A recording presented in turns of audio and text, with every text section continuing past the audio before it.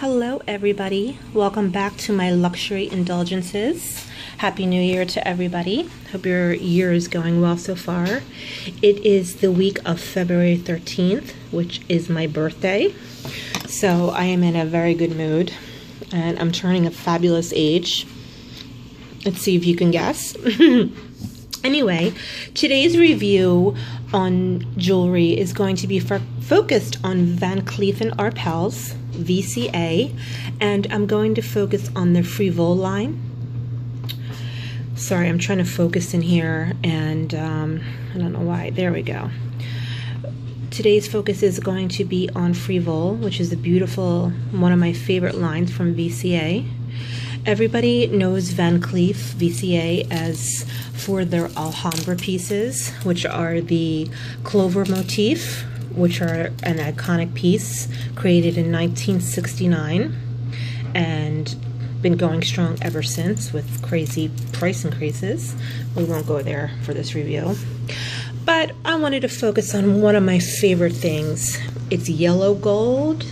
It's whimsical, classy, elegant, and very, very feminine. And that is the Frivole line. So I'm going to focus on two pieces today. One is the ring, the between the finger ring, and that is very iconic for Van Cleef. And the other is the earrings. So let's talk about the packaging. When you go to the boutique, they give you a very nice box, um, inner and outer box. This is the outer box. It's a nice hard white box and this is the inner box. It is green. It's one of their signature colors which is like a sage green. You open it up and it has the black velvet inside. And oops here's some pretties these are my earrings. So that is the beautiful packaging and then you also get the carrier bag. In the States, we have a signature flagship boutique that is on 57th and 5th Avenue, which is adjacent to the Bergdorf building. Actually, it is in the Bergdorf building, so it is um, it is part of Bergdorf building, but not owned by Bergdorf. So now that we know about the packaging, let's get started on the pieces. The Frivole line comes in white gold, yellow gold, white gold with diamonds. I love yellow gold. it's funny, I'm starting to get back into a little bit of white gold. I saw a um, a piece that I liked in uh, white gold and I thought it was stunning. They were the three motif earrings and they had the chalcedony and the um, the gray and white mother of pearl and they were just so icy and pretty but I still love the warmth of the yellow. So there's two sizes in the earrings and these are the large size earrings. They come in the small and they come in the large. And I love that the ring echoes the same size as the earring. So if you put it together it looks like it could be a set of earrings right here. The frivole is a flower. It is a 3D type of flower, and that's why I love it. When you put this up to your ear, it just, it catches light. It has diamonds in the center. The small earrings and the small part of the ring have one diamond. The large earring and the large um, motif on the ring have three diamonds in the center and I'm sorry I can't recall the points of the diamonds, but it, it might be on the website. I will attach the website below so you can take a look at the pieces. So the earrings come in two sizes, in the yellow gold, but in white gold they only come in the small, which is really unfortunate because the large earrings make such an impact. They light up your face. I don't know if this is catching in the camera, but you can see they're just so blingy. It's not even from the diamonds either. It's the mirror-like, shiny, reflective surface of the yellow gold. So these are ear clips. And what is nice about this is they're for pierced ears. And then they have the French back.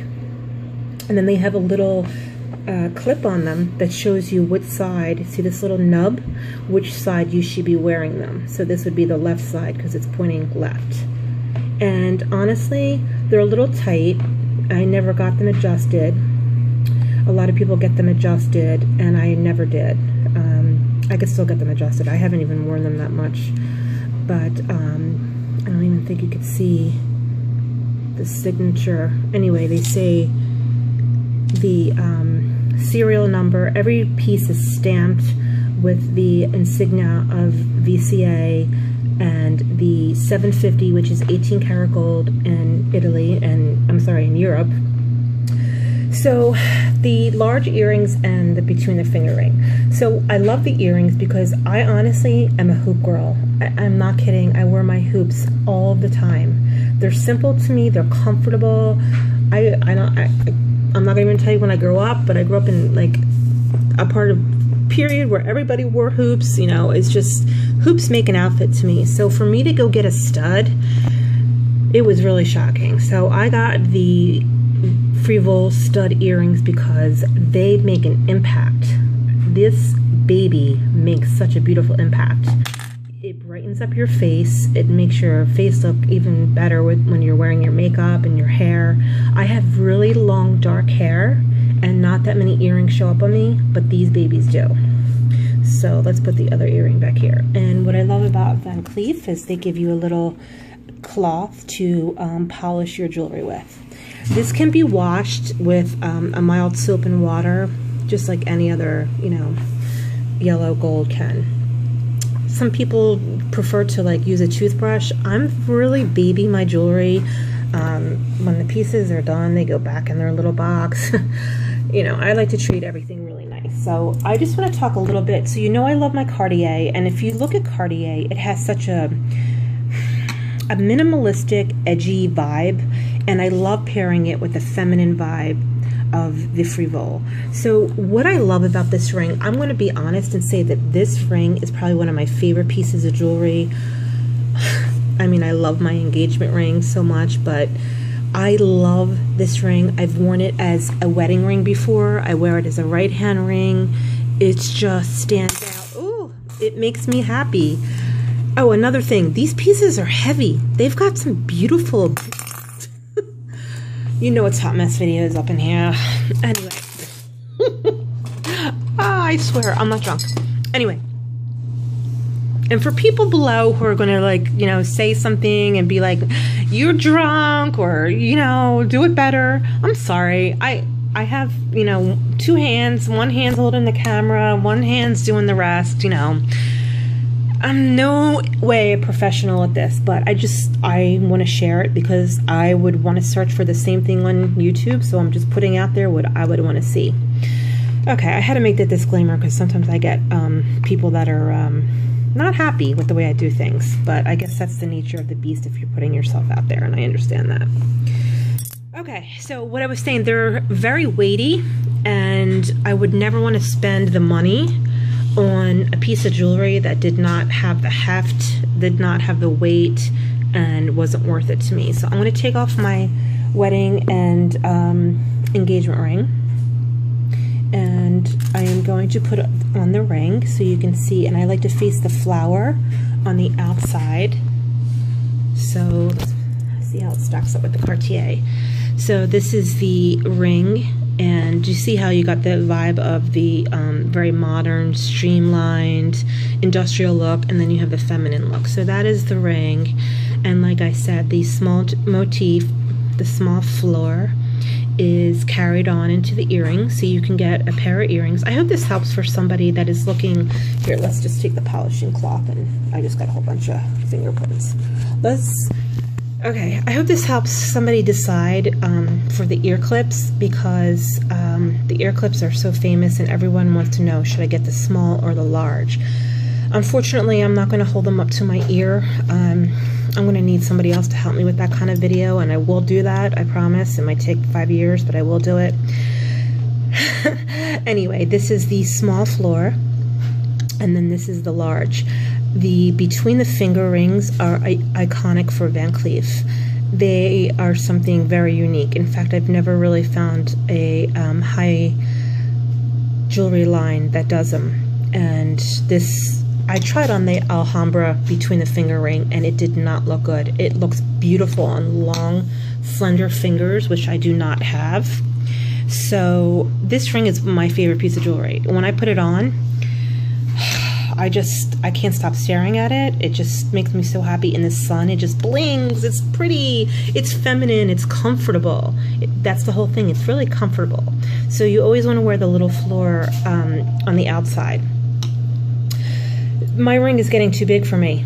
I am losing weight, and this is now my right hand is bigger than my left, so I'm upset because to resize a between the finger ring is about $2,000, which is crazy. So I don't know what I'm going to do. Okay, let's see. Back to Frivole. Let's see if there's any other points that I can make. Okay, let's talk about the maintenance of the product because I'm not going to lie.